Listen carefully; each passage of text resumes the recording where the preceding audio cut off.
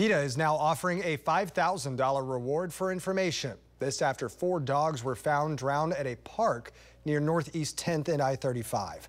All four appear to be pit mixes from eight months to four years old. Police are also ask, uh, taking tips through Crime Stoppers.